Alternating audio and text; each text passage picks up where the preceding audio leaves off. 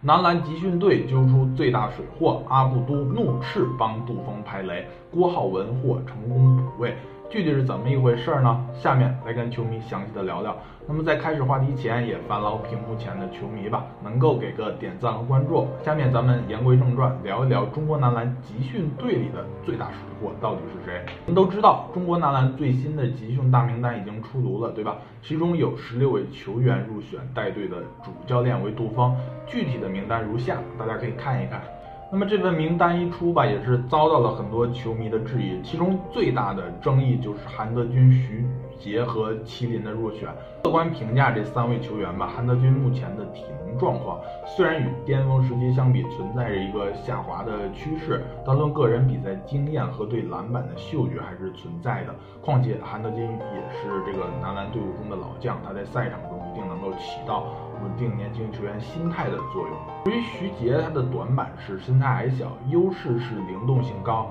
但就是像杜锋说的一样，是根据日本球员的特点进行选择的。而日本几位外线的身材都不高大，所以徐杰并不会在比赛中吃太多的亏，也能发挥出自己一个灵动的优势吧。但是麒麟的入选可能是杜锋最大的失误。先来看一下麒麟目前在 CBA 联赛中的一个数据。场均出场时间是全队的第二高，能够在三十三分钟左右。第一高的是阿卜杜沙拉木，时间为三十七一分钟左右。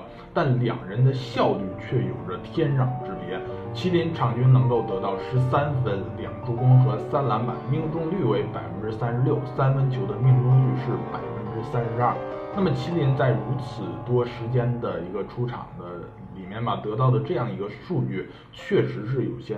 不够合格的，不知道球迷是否还记得这个阿卜杜沙拉木曾在赛后的一次记者采访环节是怒斥了球队里的某位球员，直言说到球队里的年轻球员不要假装很努力，结果不会说谎。而就在这场比赛里，麒麟的三分球是六中零，正负值是全队倒数第一。所以很显然，阿布都沙拉木炮轰的这位年轻球员就是麒麟。